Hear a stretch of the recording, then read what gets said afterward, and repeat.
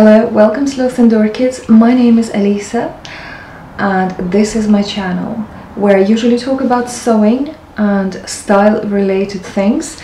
But today I decided to make a video on how to start feeling better after a breakup. So I'm going to talk about nine things um, that I feel are important to me. So I'm splitting up with my long-term boyfriend of five years. We have a house together. I'm rebuilding my whole understanding of how my life is going to happen from now on um, because I had a different idea but now things changed um, and this is what I find the most useful the things that help me deal with the situation and keep afloat so the first one I'm going to say is the most important one is the moral support. So the moral support of your family, your friends, and if you're going through a serious trauma like a bereavement or I don't know, like really, really bad breakup, you can actually join a support group where you'll find um, people who, who, are going through the same situation and it does help to know that you're not alone in this. Um, I know women um, statistically are much better talking about things and expressing and therefore women tend to not bottle things up on, on the most part and so they kind of deal with their stress expressively. So I think for men sometimes it's hard to admit that they have a problem or they have like a heartache or you know. So I do advise to just find somebody who you trust and somebody who's known you for a while maybe and somebody who's prepared to just be there for you and listen. So um, for me, obviously, I have a really amazing support network of my friends, um, near and far, you know, um, and also I'm just lucky to have surrounded myself with people who understand me um, and sometimes even offer their support without me asking. So that's the number one thing to get you going on a road to your fabulous singledom or you know your next amazing relationship. Number two I've decided to put on a list as a second most important one is actually exercise. And when I say exercise I don't mean like sweating in a gym and I hate going to the gym. I really don't care to do excessive exercising or straining myself or making myself do exercise I don't want to do. When I mean exercise I mean moving your body so that you feel alive So in the past few years, I have been so content and happy with my sedentary hobby, which is sewing. I didn't do much of getting up and walking around even like I didn't do much movement at all. And now my body actually needs some exercise. So I've started walking just literally walking. Well I live in the UK and in Devon so that's a very hilly area. So you know I don't just walk on a, on a like a straight like a flat line I just go like this. And in fact we had a, like a two three days of rain and I felt like I was craving to get out of the house and go walking. Um, yesterday it dawned on me that I didn't even count my steps so I've, I've put the step count into my phone. And I've actually clocked in in a couple of hours I went for a walk with my friend um, 12,000 steps and that's really good. And I feel like I want to go again. So like any exercise if you want to go to the gym absolutely. If you want to do some dance classes which are fun and which you don't even cons consider exercising that's amazing. I used to do partner dancing um, West Coast Swing um, for quite a few years um, and I have an amazing group of friends hopefully still waiting for me when I'm ready to come back if I decide to do that. So that's another thing you can join like a partner dance. You know, I know in the UK there's jive, uh, modern jive is very popular, um, salsa. Um, I used to do kizomba as well. You know, there's so many fun dance classes you can join um, if you want to socialize and get some new friends and do some exercise without even realizing you're doing it you know that's an amazing thing to do you know there's things like yoga um, there's walking groups so anything anything, even, do you know what, even cooking, dancing in the kitchen whilst you're cooking, that even counts. You know, anything that breaks the sweat a little bit, anything that gets you, you know, that kind of uplifted feeling like, yeah, yeah, you know what, I'm still kicking. uh, so that's, that's um, a very important step. Now, the third one I put down on there is a good night's sleep. Now, two and three could be either way. So, so two and three could, could um, um, move around maybe a bit. So it's not a secret that it keeps you from eating too much during the day from, from binging. It, it helps you focus better, do your job, which means you will then feel happier within yourself. You won't have a brain fog from not having enough sleep, not yawning, not thinking, oh, you know, I just wish I could have enough, you know, stuff, stuff like that um, is very important. And I am one of the worst people of going into bed on time like in the evenings i just want to play you know i just want to like do stuff i'm literally just like try to postpone going to bed for as long as i want but these days i've decided to just go into bed read not my phone but just read books or look at my i don't know style books or history of clothing books you know stuff like that that makes me happy. Wind down and then I actually start yawning and feeling tired naturally and I notice it and I know this is a good time to go to sleep. So these days um, I'm actually quite good. And so yes try to have a good night's sleep especially if you're waking up early like myself okay so the next one um, I'm going to put down as one another one of the essential things that you need to keep an eye on is eating well and by eating well, I mean try not to eat too heavily because when you do that, that makes you tired. And amongst other things, um, I think things like pasta and pies and bread, not, I'm not saying you can't eat that, but I'm saying I wouldn't eat it every day, for example, because it does get very heavy on you in many, many ways. I feel at the moment gravitated towards a lot of greens genuinely like I want things crunchy green you know like like natural natural things um, I substituted my sweet treats for fruits so if after meal I want something sweet instead of going for a piece of chocolate I'm just gonna have a peach or you know, um, or a satsuma, you know, something like that. Um, I'm drinking um, probiotic little bottles. You know, you can find them in supermarkets. They have like all sorts of like um, fruit, fruit flavors um, that are really good for your gut, that uh, promote a good bacteria, and that in turn will keep you healthy and happy and your eyes sparkling. Um, and also I try not to eat after six o'clock in the evening um, and that to me you know that is end of my eating day and after that I can have a glass of water even a cup of tea if, i if I really want to um, another thing is I stop drinking caffeine um, just because I've been having like heart palpitations and I was really worried about it and I've been actually told why don't you just stop drinking caffeine and see what happens? And you know what? It really helped.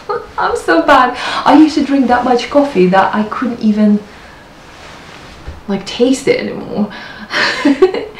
Um, but um, these days I have a cup of tea maybe I don't know every other day. I don't know maybe three three times a week I'll have either a cup of tea or a cup of coffee. And if I'm on a weekend I'm going out into town I'll have a proper cup of coffee in a coffee shop. And that's a treat not and it's not everyday thing for me. Then another thing that I stopped drinking is alcohol. Not that I drank lots of it I barely drank, but now I really kind of don't want to, even if I get offered, like for example, we're at home and Neil will say, you know, would you like a glass of wine because I'm opening a bottle and I'm like, not really, no. I really don't see the point of it um, because for me, wine or a drink is something that you have on occasion. Um, now, I used to drink, have a drink every weekend um, just to celebrate, you know, Friday drinks, and then I'd go out and have like a, on a Saturday a couple of drinks on Saturday. You know, never, never really drinking heavily, but it's just kind of like the usual thing. But now I really don't care to do that. So I think that actually helps as well um, to feel better within myself. Um, and also, you know, let's face it, I'm no spring chicken, so. Um, think the less I drink these days, the better I probably feel later on because I have to start thinking about my health going forward, you know, being 44, you know. And so another thing I feel that would actually benefit would be keeping a diary. Um, I know it's not everybody's thing, but I think there's something about writing down your thoughts with your hand on a piece of paper and seeing them and then reading them. There's something that is very healing about it. And I know there's like different techniques of doing it and there are tips and tricks and that, but basically what I would say just get yourself a nice like a like a paper pad or something or a nice if you want a fancy little diary book, you know, whatever rocks your boat, just do that and just write down things like what things that worry you, um, things that make you happy, things you're grateful for, um, and just do a couple of paragraphs every day. And I think if you read that back at some point, maybe in a couple of years, you would feel probably nostalgic and also grateful for how resilient you are, you know. Um, that that definitely happened to me in the past. So um, I've actually got a a special diary I bought over Christmas, over New Year's, um, and it has questions and it has like tasks in it. So I need to dig it out and I need to start doing that again and follow my own advice. Why why don't I do that? Another thing is um, I find that listening to podcasts and YouTube videos on a subject, like whatever whatever is interesting you at the moment. So as we're now talking about, um, you know, being newly single or recovering from a bad breakup or any anything related to that, I think it would really be advantageous if you would spend a little bit of time listening to somebody else talking about it um, and some of it will be trained professionals and some of it will be just people with similar experience. Um, so I usually when I do some ironing or I do some cooking I just put some YouTube videos on or a podcast um, and I just listen to it. And you know it does kind of reiterate to your to your inner mind that you you know what's happening to you is actually not that uncommon and loads of people dealt with it and this is how you do it and this is why this is happening and you know there's different ways of doing so it's like you just get extra reassurance um, I think and um, in fact I've listened to a couple of videos and I was like this is the best thing that's happening to me. And that really helped me realize that this is actually what's meant to be happening. So i would suggest just finding a few podcasts um, or maybe even humorous programs. You know anything in the subject that would make you feel like this is not such a big deal. In fact you know like everybody's going through it at some point or another. So I'll, I'll put that on a list Another thing to me is little appearance revamps.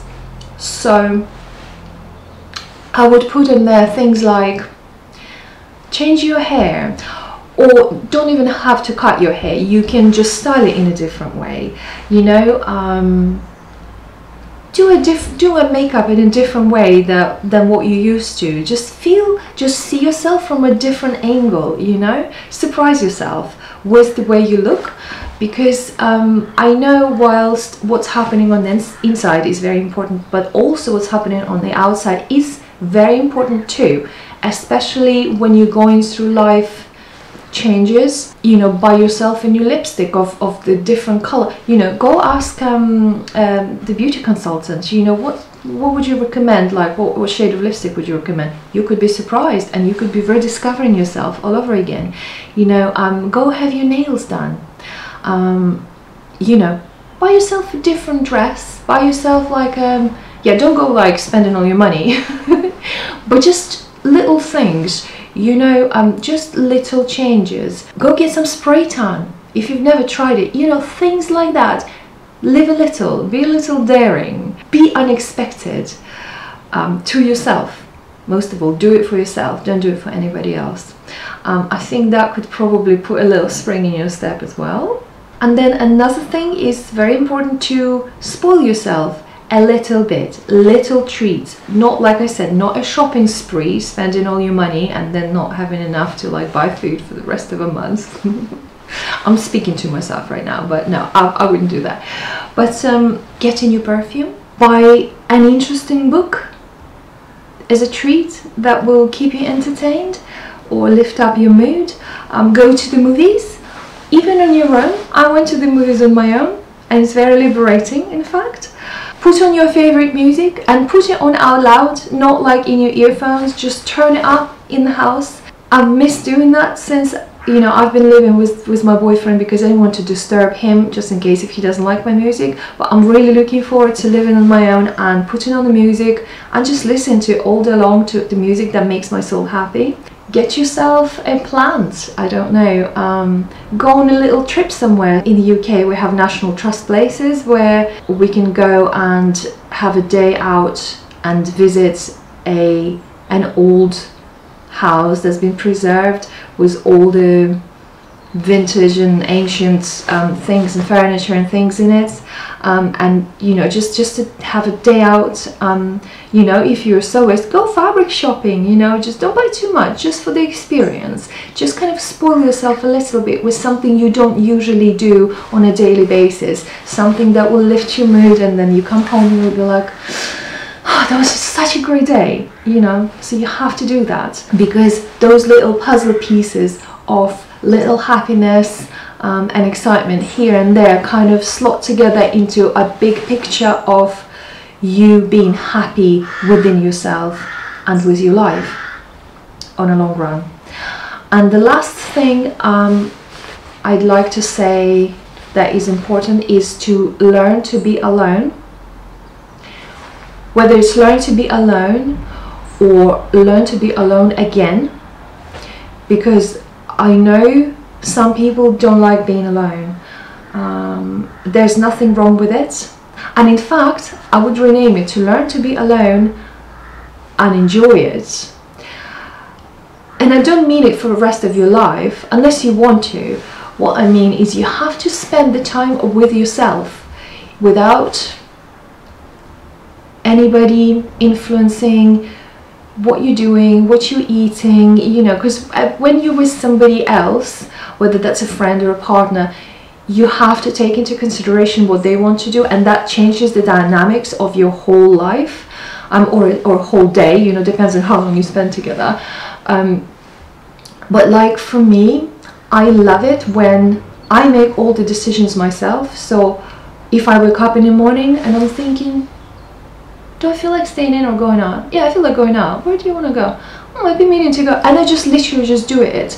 Um, and then I eat what I want to eat or I don't eat. If I don't have, if, if I'm not hungry, I won't have lunch. As if I'm, if I'm with another person, I would be asking them, would you like to have lunch? And I would be like super polite and not try not to show that I'm actually not hungry, not to make them feel uncomfortable. Do you know what, uh, what I mean? You have to be happy in your own company with your own thoughts and enjoy it. Um, and in fact, the only time when you learn to do that, you will then be able to show people the real, authentic you, um, what you are, and not what you see reflecting from other people's eyes and, and perception of you. So, this is just the nine things that I threw together that I wanted to talk about for myself more than anybody else out there but just I just thought if I document it and if I put it on a video I will be able to then refer to it myself. Um, and maybe you never know I might add some things later on I might make another video I don't know. If you've gone through from being a couple into being single tell me do you agree with my points or is there something that you would like to add and just tell me about your experience um, because obviously this is not the first time I'm, I'm breaking up with somebody, but um, every experience is different, and I believe that you can learn from other people as much as you can learn from your own past. So I'd love to see your comments. I'd love to see what you think and whether you agree with me or not. And I hope to some of you, even if it's a one person, this video was helpful. Um, this is it for now. I hope to see you soon. Love you all. Bye.